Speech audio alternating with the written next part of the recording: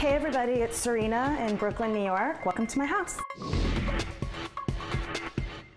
This is the kitchen. It's where everybody hangs out when we have parties. It's where everybody seems to stay central. This is our bar area and our old vintage thing. This red thing over here is what everybody thinks is the fridge, and it's really just our sweet kitchen pantry.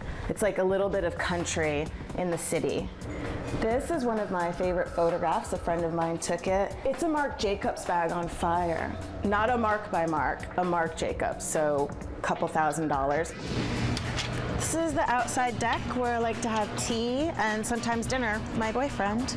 Also a super popular spot during parties. And now upstairs to my bedroom. It's big for New York City standards, which is fantastic. You can like do jazz hands in here and whatever you want. So here's my workroom and my closet. This is where I get dressed every day and where kind of like all my inspiration and the design stuff comes out. Currently what I'm doing is I'm making a it's really a nightgown. I don't wear pajamas when I sleep at night, but since I'm gonna be on television, I wanted to step up my game a little bit in my sleepwear department. Thanks for coming to my house, guys. Bye.